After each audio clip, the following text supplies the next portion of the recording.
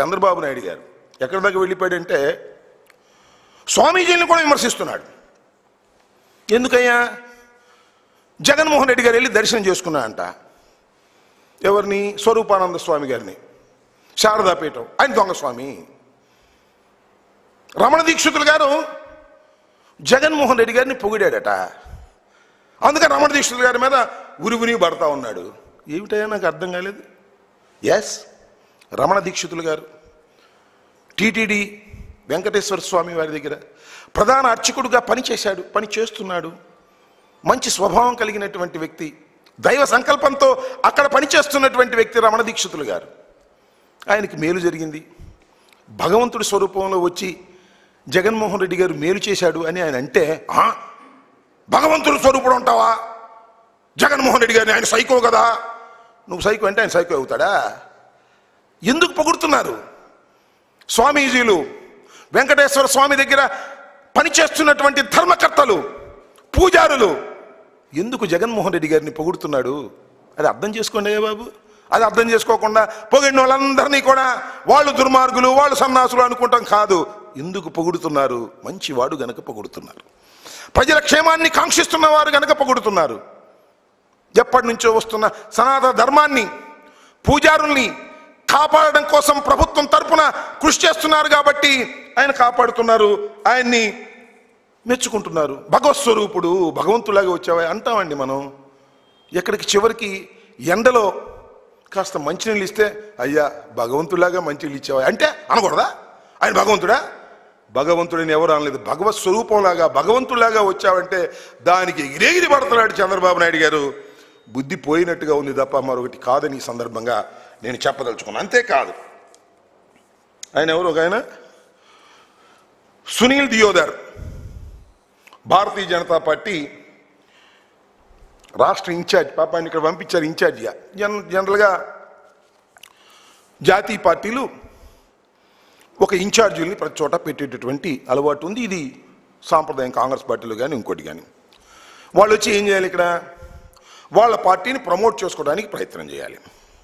వాళ్ళ పార్టీని నిలబెట్టడానికి ప్రయత్నం చేయాలి. సరే మంచిదే. బీజేపీ అదేవిధంగా జనసేన ఇద్దరు ఫ్రంట్. పాత మిత్రులే కొత్తగా వచ్చిన మిత్రులేం కాదు పాత మిత్రులే. పోయినసారి ఒకసారి మిత్రత్వం చేశారు. భారతీయ జనతా పార్టీకి చంద్రబాబు గారు ఈయన సపోర్ట్ చేశారు. భారతీయ జనతా పార్టీ కొన్ని సీట్లు గెలుచుకుంది. వీళ్ళు సెంటర్లో అధికారంలోకి వచ్చారు. అప్పటికే రాష్ట్రం విడిపోయింది. విడిపోయిన రాష్ట్రానికి మేలు చేస్తాము అని చెప్పారు. ప్రత్యేక హోదా ఇస్తామని చెప్పారు. అలాగే విభజన చట్టంలో ఉన్నటువంటి హామీలు నెరవేరుస్తామని చెప్పారు. నేను అడుగుతా ఉన్నా ఇవాళ. తిరుపతిలో మీరు పోటీ చేస్తున్నారు. తిరుపతిలో వెంకటేశ్వర స్వామి సన్నిధిలో పాదాల దగ్గర మోడీ గారు పవన్ కళ్యాణ్ గారు చంద్రబాబు నాయుడు గారు ఇచ్చిన హామీలు ఏమయ్యాయి? అమలు చేశారా చెప్పండి.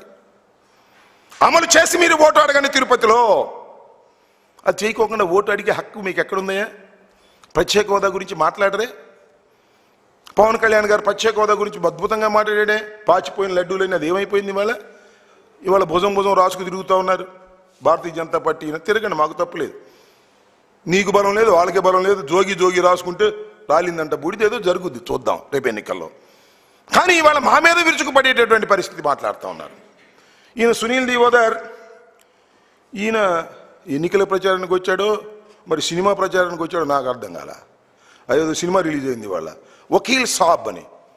దానికి ప్రచారం చేస్తున్నాడు. వకీల్ సాబ్ బ్రహ్మాండంగా ఉంది. సూపర్ హిట్ అవును. అయితే అయింది. ఏమైంది? సినిమాలు హిట్ అవుతాయి కొన్ని ఫట్ అవుతాయి. అది డబ్బులు పెట్టిన నిర్మాత యొక్క అదృష్టం. అంతకు మించి ఏమీ లేదు ఇవాళ. ఇవాళ సినిమాలు అది హిట్ అయిందంట. అది హిట్ అయితే హిట్ అయిందో ఫట్ అయిందో నాకు తెలియదు సినిమాలు. హిట్ అయింది కాబట్టి తిరుపతిలో కూడా హిట్ అయిందంట. నేను ఒకటి అడుగుతా ఉన్నా భారతీయ జనతా పార్టీ కానీ పవన్ కళ్యాణ్ గారు కానీ మీరిచ్చినటువంటి వాగ్దానాలు నెరవేర్చలేదు కాబట్టి తిరుపతిలో మీకు ఓటు హక్కు ఓటు అడిగే హక్కు మీకు లేదు. టిక్కెట్లు కొని సినిమా చూడమనే హక్కు మీకుంటే ఉండొచ్చు. ప్రచారం చేసుకోండి. మా వకీల్ సాబ్ చూడండి. బాగా కొనండి టిక్కెట్లు హౌస్ఫుల్ చేసుకోండి అని ఢిల్లీ నుంచి వచ్చినటువంటి భారతీయ జనతా పార్టీ ఇన్ఛార్జ్ ప్రచారం చేసుకోవా వకీల్ సాబ్ బ్రహ్మాండంగా ఉంది. వకీల్ సాబ్ చూస్తే భయపడుతున్నారు. ఏందయ్యా? కోటేసుకున్నోడంతా ప్లేడర్ అవుతాడా? గడ్డం పెంచుకున్నోడల్లా సాబ్ అవుతాడా? వకీల్ సాబ్ అనేది ఒక క్యారెక్టర్. ఆ క్యారెక్టర్లో డబ్బులు తీసుకొని నటిస్తారు. హిట్ అయితే మంచి పేరు వస్తుంది. ఫట్ అయితే మళ్ళీ ఇంకో సినిమా బుక్ కాదు. ఇది జరిగేటటువంటి సత్యం. ఎప్పటి నుంచో నా చిన్నప్పటి నుంచి చూస్తున్నాం సినిమాలు. అక్కయ్య నాగేశ్వరరావు ఎన్టీ రామారావు ఎన్నో పాత్రలు చేశారు. వాళ్ళకి కొన్ని సక్సెస్ అయినాయి కొన్ని ఫెయిల్ అయినాయి. అంతే తప్ప ఇదేదో రాజకీయాలతో ఇమిడిపోయి ఉంది. మేమేదో కక్ష కట్టాలి మాటలు మాట్లాడే స్థాయికి ఎందుకయ్యో భారతీయ జనతా పార్టీ దిగజారిపోయింది నాకు అర్థం కాలేదు. సినిమా టికెట్లు అమ్ముకునే దశకి ఎందుకు పోయారు మీరు నాకు అర్థం కాలేదు.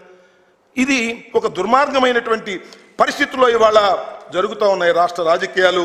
ముఖ్యంగా చంద్రబాబు నాయుడు గారు అదేవిధంగా భారతీయ జనతా పార్టీ అదేవిధంగా పవన్ కళ్యాణ్ గారు ఈ ఫ్రంట్ వారు ఎన్నికల్లో ప్రచారం చేసుకోవచ్చు తప్పులేదు. కానీ ఇష్టం వచ్చినట్టుగా వైఎస్ఆర్ కాంగ్రెస్ పార్టీని మాట్లాడటం. ఆ దియోదర్ గారు జగన్మోహన్ రెడ్డి గారిని కామెంట్ చేయటం. ప్రతి శుక్రవారం కోర్టుకు వెళ్తున్నాడని వెళ్తారు. ముద్దాయి అయితే నేరస్తుడా? మీ పార్టీలో కూడా చాలామంది ముద్దాయిలు ఉన్నారు కదా? వాళ్ళందరూ నేరస్తులు అయిపోయారా? ఏదో ఇష్టం వచ్చినట్టు మాట్లాడడం సమంజసమైన విధానం కాదు. ఈ రాష్ట్ర ముఖ్యమంత్రి జగన్మోహన్ రెడ్డి గారు అత్యంత ప్రజాదరణ కలిగినటువంటి వ్యక్తి. ముఖ్యమంత్రుల్లో మంచి ముఖ్యమంత్రుల్లో స్థానం సంపాదించినటువంటి వ్యక్తి సౌత్లోనే ఒక అత్యంత ప్రజాదరణ కలిగినటువంటి మాస్ లీడర్ జగన్మోహన్ రెడ్డి గారు అనేక పథకాలను అమలు చేస్తున్నటువంటి వ్యక్తి. ఇవాళ మనం జగన్మోహన్ రెడ్డి గారు ఒక లెటర్ రాశారు. అందరు లబ్ధిదారులకి కూడా. తిరుపతిలో మన డాక్టర్ గురుమూర్తిని గెలిపించవలసిందిగా తాను ఈ ఇరవై ఒక్క మాసాలు ఈ ప్రభుత్వం ఏ విధమైనటువంటి పథకాలను అమలు చేసిందో ఆ పథకాలను వివరిస్తూ ఒక చక్కని లెటర్ రాశారు అభివృద్ధి కార్యక్రమాలు. ఒకటి కాదు రెండు కాదు. ఎన్ని కార్యక్రమాలను ఈ రాష్ట్రంలో అమలు చేశాం మేము. అమలు చేస్తున్నాం మేము. మీరేదో మాట్లాడుతున్నారు తామరు చేయలేరు అది ఇది అని. అమ్మఒడి కానీ జగనన్న అమ్మఒడి కానీ నాడు నేడు కానీ ఇంగ్లీష్ మీడియం కానీ ఒకటి కాదు రెండు కాదు. అనేకమైన కార్యక్రమాలు. కానీ విని ఎరుగని రీతిలో భారతదేశానికి స్వాతంత్రం వచ్చిన తర్వాత ఇన్ని పథకాలను అమలు చేసినటువంటి ప్రభుత్వం మన రాష్ట్రంలోనే కాదు భారతదేశంలో ఏ రాష్ట్రంలోనూ లేనటువంటి ప్రభుత్వం ఇది. కేవలం జగన్మోహన్ రెడ్డి గారు. ఆయన పాదయాత్రలో ప్రజల గుండె చప్పుడు విని వారి బాధలు తెలుసుకొని వాటిని అన్నిటినీ పొందుపరచి మేనిఫెస్టోలాగా విడుదల చేసి మేనిఫెస్టోలో ఉన్న విషయాలను లేని విషయాలను అన్నిటినీ కూడా చిత్తశుద్ధిగా అమలు చేస్తున్నటువంటి ముఖ్యమంత్రి ఈ దేశంలో జగన్మోహన్ రెడ్డి గారు. ఆయన పాలనని తిరుపతి ప్రజలు ఆశీర్వదించరా? ఘనంగా ఆశీర్వదిస్తారు. ఘనంగా ఆశీర్వదించాలని కూడా ఈ సందర్భంగా నేను మనస్ఫూర్తిగా కోరుకుంటున్నాను. ఈ అవాకులు చవాకులు పేరేటటువంటి బాబు కొడుకులు అదేవిధంగా భారతీయ జనతా పార్టీకి అదేవిధంగా మన వకీల్ సాబా ఆయన పేరేంటి? ఆయన వీళ్ళిద్దరూ కలిసి ఏం చేసినా ఏమి కాదని కూడా ఈ సందర్భంగా నేను మనవి చేస్తూ తిరుపతి ప్రజలు అత్యద్భుతమైనటువంటి రిజల్ట్స్ని ఇవ్వబోతున్నారని ప్రగాఢంగా విశ్వసిస్తున్నాను. జగన్మోహన్ రెడ్డి గారి పాలనను ఆశీర్వదించండి. ఆయన చిత్తశుద్ధిగా పనిచేస్తున్నటువంటి కార్యక్రమాలను మీరు ఎంకరేజ్ చేయండి. ఆశీర్వదించి ఎంకరేజ్ చేయడం ద్వారా సుదీర్ఘకాలం ఒక పటిష్టమైన నాయకత్వంతో వైఎస్ఆర్ కాంగ్రెస్ పార్టీ పనిచేస్తుంది. ఈ రాష్ట్రాన్ని మరిన్ని సార్లుగా గెలుచుకోవడానికి సిద్ధంగా ఉన్నటువంటి రాజకీయ పక్షం తెలుగుదేశం అయిపోయినటువంటి పార్టీ ఈ రెండు ఇంకా ఎన్ని గెలిచినా ఇవి కూడా కలిసిపోయే కాలగర్భంలో కలిసిపోయే పార్టీలు తప్ప ఈ రాష్ట్రంలో జగన్మోహన్ రెడ్డి గారికి వ్యతిరేకంగా ఏ రాజకీయ పక్షము ఉండజాలలేదు కారణం జగన్మోహన్ రెడ్డి గారు ఒక అద్భుతమైన ఆలోచనతో నిష్కల్మషంగా చిత్తశుద్ధిగా పరిపాలన చేస్తున్నటువంటి ఒక ముఖ్యమంత్రి ఆయన్ని ప్రజలు సర్వదా ఆశీర్వదిస్తారు. ఈ వీడియో గనక మీకు నచ్చినట్లయితే లైక్ చేయండి షేర్ చేయండి. మరిన్ని వీడియోస్ కోసం మా ఛానల్ను సబ్స్క్రైబ్ చేయండి.